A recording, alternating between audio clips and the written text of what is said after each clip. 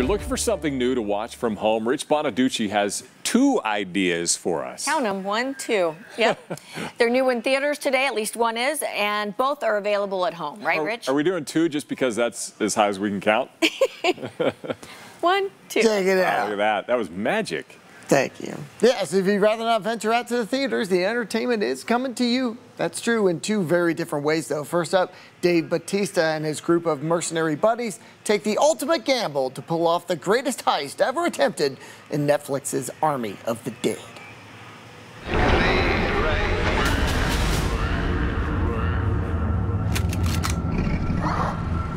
What the?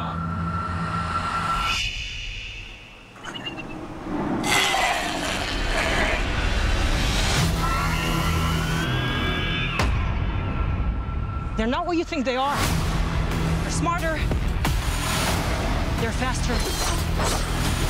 They're organized. They're nasty. From filmmaker Zack Snyder, Army of the Dead takes place following a zombie outbreak that has left Las Vegas in ruins and walled off from the rest of the world. But being Vegas, there's a lot of money walled off in there too. So Army of the Dead has many of the trappings of other movies of its type, but everything is about this being over the top. The stakes, the weapons, what the zombies can do this time around, the humor, the explosions, the oddly timed drama, the guts and gore. It's all up to 11. But it all has to go somewhere, and it wouldn't fit into a- standard length movie. So cramming all that in with multiple subplots means that Army of the Dead is a bloated two and a half hour zombie flick.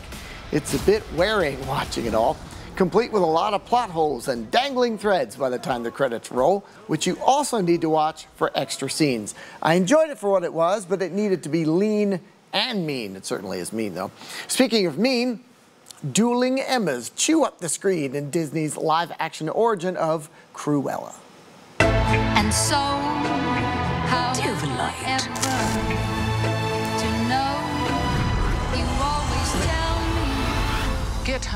This doesn't have to be a scene. It really, really does. Can I'd like to remind you all that I'm doing this in heels. What was your name? Cruella. in heels. Both Emma Thompson and Emma Stone dig way into their roles and have a deliciously devious time doing it. They're a lot of fun to watch. The soundtrack is a lot of fun to listen to, and the costumes are a consistent high point. Now, whereas Angelina Jolie's Maleficent flick served only to undercut one of Disney's biggest baddies, Emma Stone's outing underlines the reason why Cruella is who she is, and she relishes being this baddie. Yes, there are plot points that threaten to make her too sympathetic a character, but no. Cruella is part I, Tanya, part All About Eve, part The DeVille Wears Prada, and all enjoyable, if a bit overlong. But that extra time allows for the great supporting cast to be the heart of the movie and Cruella's conscience. So again, why this movie? Well, why not? I don't know why we needed it, maybe just for money. I'm glad we've got it. B plus for me for two hours and 14 minutes of PG-13 rated Cruella. And by the way, as we mentioned, yes, it's in theaters this weekend, but it is also on Disney Plus streaming, and Dave Bautista's movie is uh, available through Netflix. So two at home, and if you feel like venturing out this weekend, holiday weekend, well, one of them's in the theaters. Okay, it's a twofer. It's a twofer. It's a twofer long weekend. We'll have plenty of time to Right. watch both of them, right. should we wish. Probably not the same audiences. That would be maybe some. That would be five hours. That's a long time, That's a lot of watching. I think. Thank you, Rich.